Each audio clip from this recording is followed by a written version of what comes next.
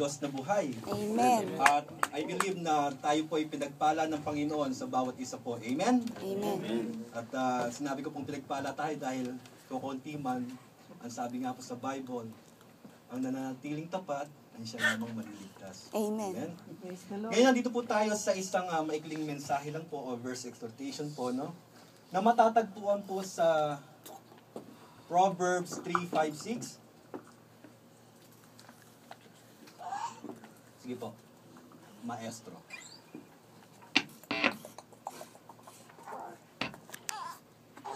Etong verse na po to na Proverbs o ah, Kawikaan, ito po ay sinulat ni King Solomon po. Ah, sige po tumayo po tayo at sabay-sabay po natin basahin ang versikulo nito. Sabi po sa Proverbs 3:5-6, Trust in the Lord with all your heart and lean not on your own understanding. In all your ways acknowledge Him and He shall direct your paths. Sige po, mag magsiupo na po tayo. Salamat po. Sabi nga rito sa verse, trust in the Lord. Kailangan po, magtiwala lang tayo sa ating Panginoon. Amen? Sabi nga, trust in the Lord. Kanino tayo magtitiwala? Sa Diyos. Amen. Ah, hindi tayo pwede magtiwala sa pamamagitan ng sarili nating kakayahan. Hindi rin natin pwedeng pagkatiwalaan ang ating minsang kalakasan, ang ating talino, ang ating kayamanan, at ang mga privilege na nakakamit natin o sa inyo, ito po ay hindi natin kayang, ah, ah, hindi po natin pwedeng ibigay po ito dun sa sarili nating kakayahan. Dahil kung sa sarili lang natin kakayahan, hindi po hindi po maaari. Ibabagsak po tayo, mababagsak tayo sa ating kakayahan. Kung sa sarili lang natin po. Yun nga po, ang sabi li po sa ano sa verse 5, trust in the Lord with all your heart. With all your heart. Sabi rito, with all your heart. Ang sabi niya, hindi ito yung unus-unus. Hindi ito yung half. Hindi ito yung one-fourth. Hindi ito yung sweya-sweya. Ang sabi niya po maliwanag. Buo. Buong puso. Minsan sa atin kasi, ah nagtitiwala tayo sa Panginoon, no? Nagpray tayo sa Panginoon. Lord, tulungan niyo po ako sa aking gagawin ngayon. Natulungan na tayo ng Panginoon, ng ating Diyos. Pero minsan, kapag natulungan na tayo, nakamit na natin ang gusto natin, ano? Ang nangyayari po, nakakalimutan na natin yung Panginoon. Nakalimutan na natin yung tulong niya. Ang nangyayari, nagiging mayabang tayo.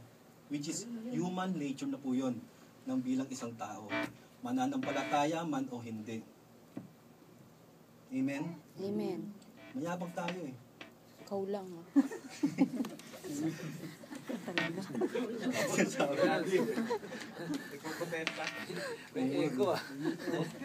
Ayun nga, sabi nga, trust in the Lord.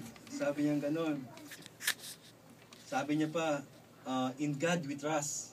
Madaling sabihin, no? In God we trust. In God we trust. Madaling sabihin. Tapos, ah, nagkaroon ka lang ng problemang konti, no? In God we trust, eh. So, ay, ano ka na, malakas ka na. In God we trust. Nagkaroon ka lang ng konting problema, ano po? Masasabi mo na minsan, in, ah, sabi niya rito, in friends we trust. Na iba. Na iba na twist, ano? O kaya sabi, in neighbors we trust. Mali. In God we trust. Sabihin natin minsan, ang problema malaki. Pero nagkakamali po tayo. May mas malaki po. Yung Diyos po natin ay malaki po yan. Ang problema, maliit lang. Minsan pinapalaki eh. Pero ang Diyos hindi nakikilala. Napakalaki niyan. Siya ang lumikha sa atin. Amen. Wala nang iba. Siya lang. Siya lang ang may karapatan. Ano po? ano pa?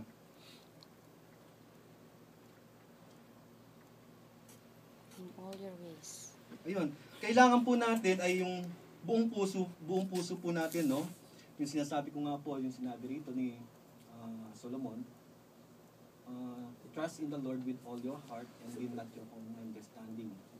Tapos dito sa number 6, in all your ways, acknowledge Him and He shall direct your paths. Maliwanag po, di ba po?